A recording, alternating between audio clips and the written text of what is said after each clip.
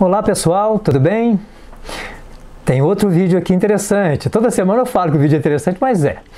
Esse caso, ele é muito legal pelo seguinte, é a pessoa ele é fumante, é, é, diabético e a gente nota que no diabético ele tem perda de implante, tem perda óssea, tem perda de dente, porque as bactérias atacam com muito mais facilidade no diabético. É esse é o problema, ele tem mais propensão à infecção. Vocês podem ver que na fixa dele inferior, aquele molar logo vai ter problema, mas normal, não é aí a nossa questão. A questão é o seguinte, nós fizemos esse trabalho superior, que é uma overdenture sobre dois implantes, é uma PPR, né, que é prótese parcial removível, presa sobre dois atachos uma bola, em que eu usei os dentes naturais dele também como apoio. Aí essa prótese fica excelente. Fica coisa assim que o paciente não quer outra coisa e também não quer outro dentista. Ele, é você que consegue arrumar o, o trabalho que você fez fica, você vive com o paciente. É, é, eu lembro que às vezes tinha dentista que falava, ah, não gosto de fazer serviço complicado não, senão a gente casa com o paciente. Mas se você gosta do que você faz, é um prazer casar com o paciente. Sempre você tem um amigo ali do teu lado, você não vai morrer sozinho. Bom, vamos ao caso. Qual que é o problema? Essa prótese foi feita há sete anos atrás e esse canino que vocês estão vendo aí do lado do implante quebrou. Quebrou a, o ângulo distal estava com um, a bifração também na, na, na, cervical vestibular e o principal, o nicho da onde essa prótese apoiava, que era na lingual, também tinha quebrado. Eu tenho que restaurar esse canino. Agora, imagina vocês restaurar esse canino, como é que eu encaixo essa prótese depois ali? Vai, vai tempo, vai dias para você encaixar essa prótese e ela não vai ficar boa. E ela não vai encaixar com perfeição. Isso é o que se diz no jargão com muita gente, assim, é o verdadeiro pepino se você não conseguir é, recuperar esse dente para essa prótese ficar bem adaptada, porque ele tem bruxismo também. E se ela ficar um pouquinho alterada, vai destruir todo o nosso trabalho que foi feito há sete anos atrás. Então, todo cuidado é pouco para estar tá se restaurando esse dente, mas vou mostrar para vocês uma maneira que vocês vão achar brincadeira. Aí depois vocês vão falar: não, é muito fácil. É desse jeito que eu vou fazer quando eu tiver uma prótese removível para ser recuperado um dente em que esse dente é apoio dela. Vamos ao caso. Vejam aí a radiografia. Aí está o dente como era quando eu fiz há sete anos atrás. Olha lá, agora como ele chegou. Olha o nicho na prótese. Olha lá que no canino. Vou colocar a prótese novamente. Vejam lá, ele abotou nos dois atachos uma bola, tem um lá que precisa trocar a borrachinha. Na hora que eu ponho a prótese, olha o vão que tem entre a prótese e o dente. Olha lá. Aquilo entra alimento, enrosca a língua, machuca a língua, é um transtorno para o paciente. Olha o ângulo quebrado na distal. Vejam lá, tá lá. Aí eu isolo a prótese com cera utilidade. Olha o segredo. Isolo ela com cera utilidade e ela vai servir de molde para eu restaurar o dente. Simples. Agora ficou fácil. Muito fácil. Passo manteiga de cacau também em cima daquele enceramento e voa com broca, ó, sem anestesia, hein? Se girar em baixa rotação não dói. Você vai tirando aquela cara sem doer. O que faz doer é apertar a broca contra o dente. Aí gera calor e calor dói sempre. Olha lá. Tudo sem anestesia, olha.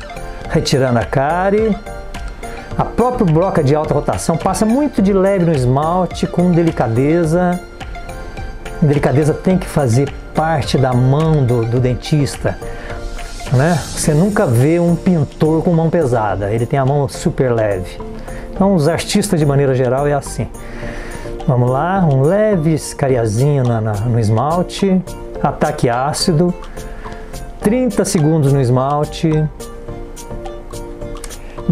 de 8 a 10 segundos na dentina. Vejam lá.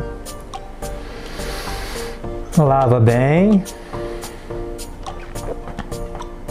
Auxiliar sempre aí ajudando a gente, hein, moçada? Auxiliar, ó, é algo importantíssimo. Quero falar um pouco a respeito de auxiliar para vocês. Seco com o próprio sugador, não totalmente, hein? Passo agente de união, espalho no dente, muitas vezes passo outra camada, sem polimerizar a primeira. Polimeriza. 3 segundos, ó, 2001, 2002, 2003.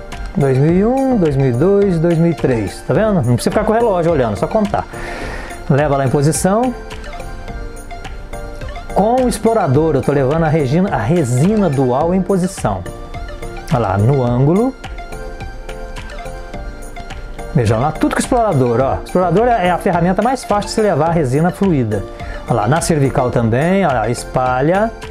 Tá vendo? Porque ela tem uma tensão superficial maior no dente que na ponta do explorador. Olha lá. E vou completo lava. Pode deixar excesso, não tem problema não. O nosso molde é a própria PPR dele. Aí, ó. Olha que fácil. Olha que gostoso de fazer. Olha lá. Olha que facilidade. Pish. Ah, leva em posição. Aí, ó. Me dá prazer mostrar isso para vocês.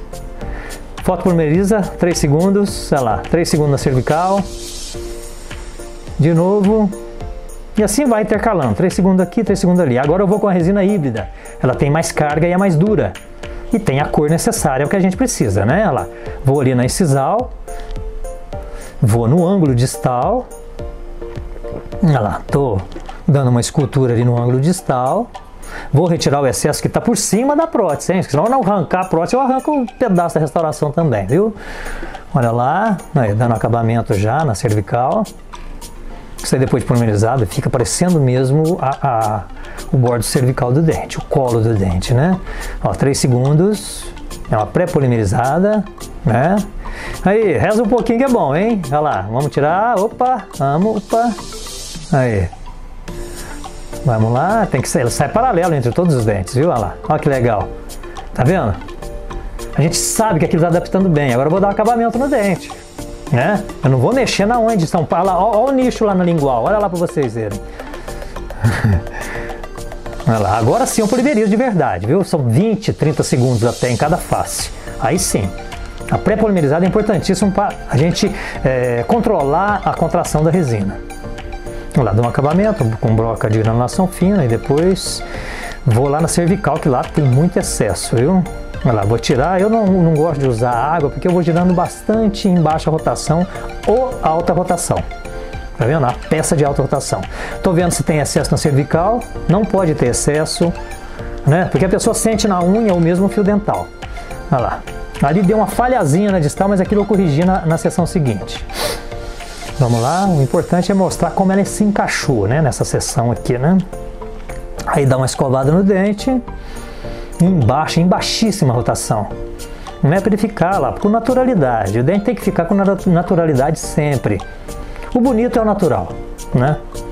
Aí, ó, vou, levo a próxima posição, agora fica gostoso, ó. Vixe, olha que coisa boa aperta, ela encaixa nos atachos uma bola, olha lá, não tem mais aquele bordo, ele passa a língua lá, aquilo tá lisinho, não retém mais alimento, aí ó. E o nosso paciente, que hoje está com 73 anos, ficou mais bonito. Aí, olha o sorriso dele. Isso aí, meu amigo. Um abraço, muito obrigado, gente. Muito obrigado por estar nos seguindo, por estar dando apoio para gente. Quero que vocês se inscrevam no YouTube para a gente estar tá conversando através do YouTube e nos sigam no Instagram. Fiquem com Deus, um abraço e até o próximo vídeo.